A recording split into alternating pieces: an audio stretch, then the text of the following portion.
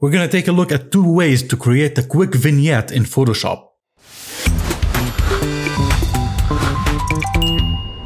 Open a photo in Photoshop, subscribe to this channel, go to the Layers panel, right click on the layer and convert it to a smart object. That way you'll be working non-destructively, and so any changes that you do on this layer are fully editable. Now with this smart object still activated, go to Filter, Camera Raw Filter.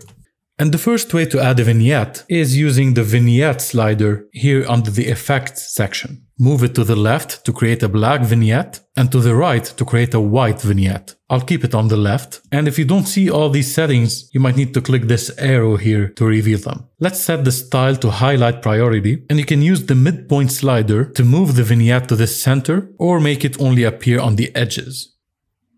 Use the roundness slider to make the vignette a square a circle, or an oval, use the feather slider to make the vignette smoother or harder, and use the highlight slider to control how much the vignette affects the highlights in the photo.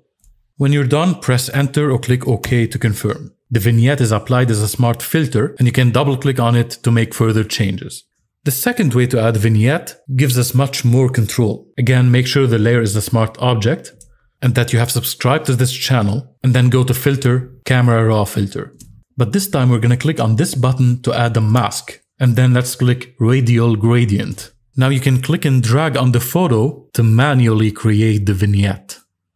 You can also adjust its shape and its position after you create it. Click here to turn off the overlay and let's scroll down and decrease the exposure. We want to affect the area outside the mask, so I'm gonna scroll up and click this button to invert it. And we have all these sliders here that we can play with to control the vignette. I'll use some of them like the feather slider, the highlight slider, and here under color, you can actually click on this box to set a specific color for the vignette, like blue for example. Adjust the saturation and then click OK. Click OK again. And now you can click the bell icon and turn on notifications.